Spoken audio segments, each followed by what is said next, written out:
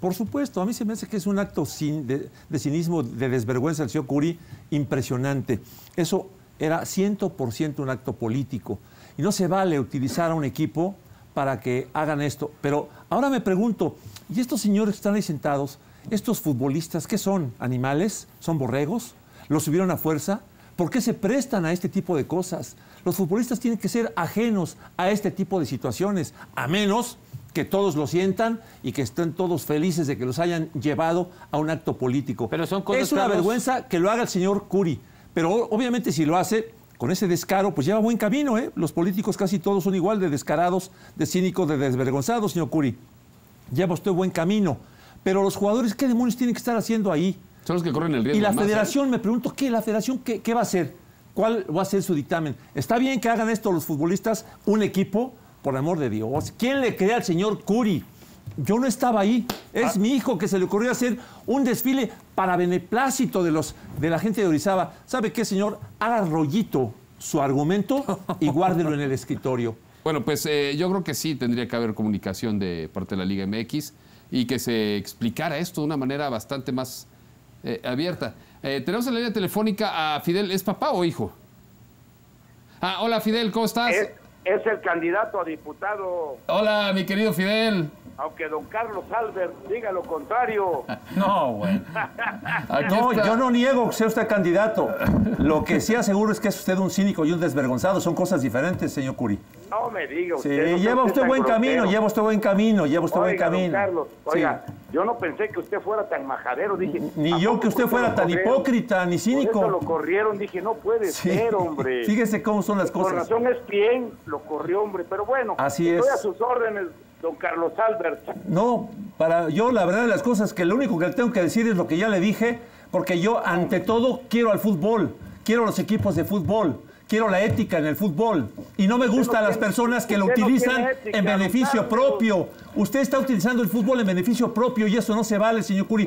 La historia del Veracruz va mucho más allá de usted. La conozco desde mucho antes que usted. Y a mí no me parece que llegue alguien y la pisotee como lo está pisoteando usted, señor Curi. ¿Sabe, qué, eh, don Fidel? Lo sabe con muy... Me encanta hablar con gente como usted, hombre. A mí también, me encanta. Don, don Fidel... Por, eh, Dios, por Dios que todos mis respetos para usted, pero bueno, ustedes lo conocen bien. Buenas tardes, don Fidel. Este, a usted no, lamentablemente, a usted no lo conocen, lamentablemente, también como deberían. Qué bueno, si no, ¿verdad? si no, no estaría donde está. este, Carlos, este, don, Fidel, ¿cómo está? Le saluda Enrique Veas acá también en Reacción en oiga, Cadena. Oiga, ¿por qué, ¿por qué promueve usted debates presidenciales, hombre? Sí, estoy, estoy pensando en eso muy seriamente. No, hombre, de veras, usted, este, por Dios. A lo mejor tengo más éxito que la muchacha esa que salió ahí enseñando de todo, ¿no cree? Como moderador, como, yo moderador. No, yo no creo que estoy tomando las llamadas por mi amigo, ¿eh? Pero... Yo lo sé, yo lo sé, Fidel. de conocerlo personalmente para echarnos una buena charla. Pues sí, eh, acá, también saludando con mucho gusto Enrique Veas, don Fidel. Eh, lo que pasa es que llevamos tocando un rato el tema de lo que sucedió eh, al regreso del equipo de Veracruz después del partido contra los Tigres, en donde pues se da justamente en este marco el lanzamiento de campaña, en el, pues obviamente en el municipio de Orizaba. Entonces, pues, creemos, o por lo menos la postura también es que tanto el INE a lo mejor no, no, no, está permisivo, así como también la Liga MX había sido muy claro ¿no? en este tema, en este tópico, de que pues, no se puede juntar ¿no? el caso de un equipo de fútbol pues con fines políticos. Esa es la pregunta inicial. No, mire, mire vamos a ser claros. Yo estoy en lo mío y mi hijo está en lo suyo. Usted sabe perfectamente dónde nació el tiburón ¿Dónde nació el fútbol? El fútbol nace en Orizaba, no nace ni en Pachuca. Aquí nació el fútbol. Y lo voy a demostrar ahora que sea yo diputado, porque voy a ganar. Voy a demostrar que el fútbol nació en Orizaba. Y de aquí se fueron a Pachuca. Pero el fútbol nace en Orizaba. El, el Tiburones Rojos del Veracruz, todos los jugadores que subieron al equipo en la piedad son orizabeños. Melitón aquí estuvo, estuvieron la mayoría de los jugadores de Tiburones son orizabeños. Entonces, la gente de Orizaba quiere su equipo. ¿Y pero por qué justamente, en, ¿por qué justamente en esta coyuntura, señor? ¿Perdón? ¿Por qué justamente en esta coyuntura, en este arranque de campañas? De hecho, estamos viendo las imágenes y la gente está, de hecho, con los colores este, de alguna otra forma que están involucrados con el partido que usted representa. No, mire, eh, los jugadores vienen de azul. No digo los jugadores, yo digo la gente. La gente en las calles, en el desfile, que es para el lanzamiento de campaña. mis tiburones son rojos. Por eso estoy diciendo la gente la de ese día y la camiseta de Melitón es verde. O sea, por favor, tenemos un, un portero que, que, se fue a la selección mexicana, la gente está feliz porque de aquí salió. Pero bueno, esas cosas son del presidente Fidel Curi Mustieles. Yo estoy en campaña, ahorita estoy en La Perla, en una reunión. Me gustaría que un día conocieran, aquí es muy bonito, tenemos todo pavimentado, hemos invertido mucho dinero. Cuando fui diputado bajé muchos recursos acá para La Perla. Y bueno, voy a ganar esta elección, no por los tiburones, los tiburones tienen que ganar el campeonato y que haga su trabajo. Fidel Curi Mustieles con sus jugadores, con el cuerpo técnico. Yo en estos momentos estoy dedicado a trabajar para mi campaña y aquí voy a seguir. Ahora, Fidel... No, eh, no, quieran confundir a la gente, no quieran eh, revolver cosas que no son. No lo digo por todos los que están ahí, pero bueno, no quieran revolver. Cada quien hace sus cosas. Fidel, yo te agradezco mucho. Y volverán, volverán a venir los, los, tiburones el día que mi hijo quiera, el día que la afición lo requiera. Irán al, a donde quieran Así como cuando los pidió el señor y le puedo mandar fotos donde el señor siempre recibió a los tiburones aquí y es del Partido Acción Nacional y vino con ellos, les invitó a desayunar, los acompañó a un evento deportivo. O sea, no, no pasa nada, es PAN, PRI, PRD, eso no me interesa, es fútbol. Y si se aceptó la invitación del señor es porque iba a apoyar al deporte que no lo apoyó y no cumplió, pues es su problema. Pero se creyó en él y que iba a apoyar al deporte. Entonces, yo creo que no hay que estar, no hay que estar este, queriendo a, la gente confundirla. Vamos a hacer cada quien lo suyo. El tiburón tiene que ganar el viernes para que ya estemos salvados eh, del descenso.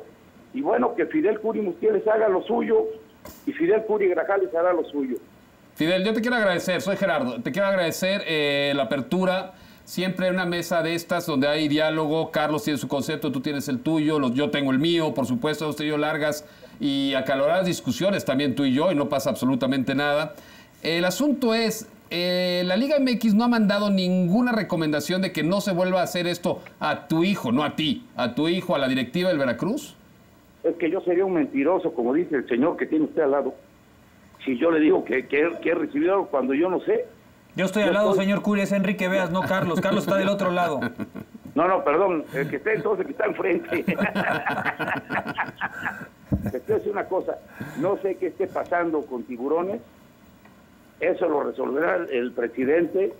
Yo estoy en mi campaña política. Tú me conoces, Gerardo. Yo era diputado federal, he tenido los albinegros de Orizaba, fui diputado local, he tenido equipos de fútbol no de ahorita, tuve la piedad, tengo tiburones, y eso qué tiene que ver con, con, lo que con lo que se está haciendo.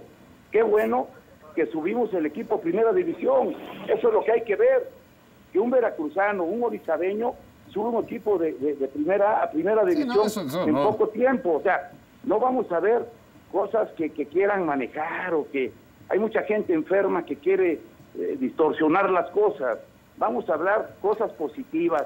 El fútbol debe seguir. Yo tengo un compromiso con los orizabeños donde les prometí un estadio de fútbol, bajé los recursos, no sé dónde se encuentran y los voy a encontrar y voy a hacer el estadio.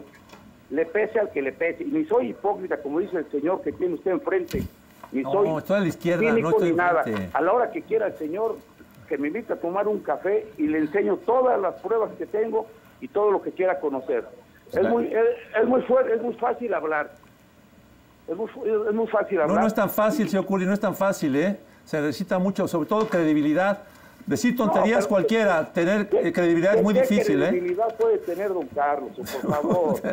Nada Cuando más. lo corren de un, Ahí se lo dejo. De un programa pues muchas, muchas gracias, Fidel, gracias, gracias por habernos tomado la llamada. Insisto, como dice Gerardo, se agradece en este espacio quien reacciona en cadena. Estamos abiertos al diálogo.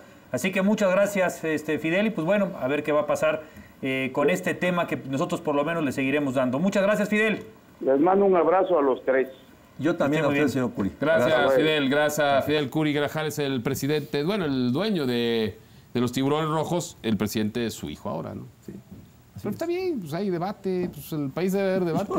¿no? O sea, ¿Sabes qué? Qué, qué chistoso. Cuando yo estaba, eh, cuando llego al Necaxa, este, por ahí de los sesenta y tantos, el equipo Orizaba organizó un pentagonal de dos equipos, el Orizaba, en un cuadrangular, y los tres equipos de Guadalajara. Ok. Y me pidieron de refuerzo a mí y a Yurasi, no sé si se acuerdan, un brasileño que jugó en Necaxa hace mucho, y a Romo, a tres necaxistas. Yo tenía 18 años, me pidieron de refuerzo en Orizaba. Jugamos el hexagonal, ganamos el, el cuadrangular, la gente estaba loca en Orizaba. Yo te puedo decir que antes de debutar en la primera división, ya estando con el Necaxa, pero todavía no debutaba, debuté contra estos equipos en ese cuadrangular en Orizaba y bueno, la gente estaba fascinada y yo más porque me habían invitado. Le tengo un gran amor, un gran cariño y un gran recuerdo al equipo Orizaba. Y de ahí salió Loquito Ausín, ¿se acuerdan de Loquito Ausín? Sí, sí, sí. Un gran jugador. Salieron dos o tres jugadores buenísimos para el fútbol mexicano. Bueno, ahí está ya la Y nota. Orizaba que sí, eh, bueno, es la gran discusión que sí es la cuna del fútbol y que sé cuántas cosas, ahí sí. Los de Pachuca se la agenciaron, ¿no? Las agencias, o sea, el equipo de México no se van a agenciar. Es que llegaron, llegaron los mineros de Inglaterra, De Inglaterra a las a minas de, Hidalgo de Pachuca y por eso ahí Pero también en Y, Veracruz, y- y ¿no? ¿Sabes qué, Gerardo? Para tampoco desviar tanto el tema, y esto es a título personal, obviamente, y apro- aprovechando el espacio que da obviamente Medios Televisión, o sea, aquí no queremos confundir a nadie, por lo menos, ¿no? Lo que, el ejercicio No. que te conozco a ti, Gerardo, conozco a Carlos. Aquí el punto es que sí hay un, hay un problema que, que sí tiene que ser resuelto principalmente por el INE. ¿No? Es el primero que tiene que decir, oye, aquí es increíble cómo en el inicio de campaña traen a, a un club de Pero es un fútbol. problema cuando electoral, ¿no? cuando El nadie problema del fútbol y- es lo que yo y voy. La Liga MX se debe manifestar, Ahora, ¿no? Carlos- o sea, no puede, no puede volver a pasar esto. Y yo lo es- voy a decir por mi compañero risible, ¿eh? Carlos Albert. A Carlos Albert, pues hay mucha gente que no le cae bien, no es oro. Yo también hay mucha gente que me odia y me dirá lo mismo aquí también en estos micrófonos, ¿eh? Así, estamos expuestos a eso. digo, Cuando eres frontal, cuando en la vida has- te he dicho las cosas de manera directa, sin cortapisas, pues ese tipo de cosas sucede. Y no pasa absolutamente por nada. ¿eh? supuesto que no, no hay ningún No problema. pasa nada. Si no, pues si no, pregúntele. Uy, yo tengo tanta historia, pero tengo tanta velocidad en mis piernas que me he podido escapar de esos golpes. Yo ya no, yo ya no.